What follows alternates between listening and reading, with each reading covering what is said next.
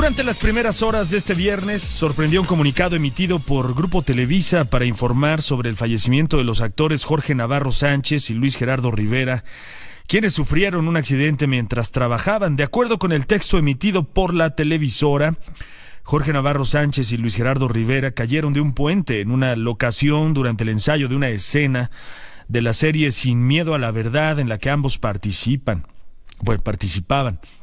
Además de extender sus condolencias a las familias de cada uno de los actores. La empresa señaló que la producción a cargo de Rubén Galindo atendía con las autoridades de la Ciudad de México este lamentable accidente. En tanto, el protagonista de la serie, Alex Perea, utilizó su cuenta de Instagram para escribir un mensaje en el que reflexionó. Y en un segundo, cambia todo. En un segundo se te va la vida, en un segundo cambias la vida de muchas personas, en un segundo. Por otro lado, se ha filtrado en la red la información recibida por las autoridades competentes al llegar al lugar de los hechos en la colonia agrícola oriental. Según la crónica, vía radio, los agentes recibieron la indicación del evento y al llegar quien respondió confirmó la emergencia y solicitó el apoyo médico.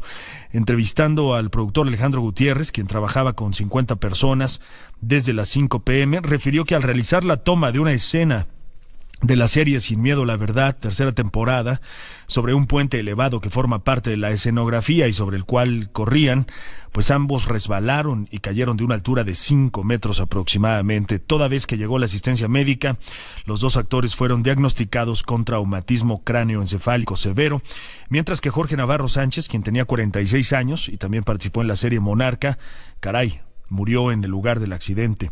Luis Gerardo Rivera fue trasladado gravemente lesionado al Hospital Quirúrgico de Patriotismo, donde horas más tarde se confirmó también su deceso a la edad de 30, de 30 años. De verdad, trágico accidente ahí en la producción de Sin Miedo la Verdad. Me puse en contacto con mi querido Rubén Galindo eh, hace un momento, me puse en contacto con él.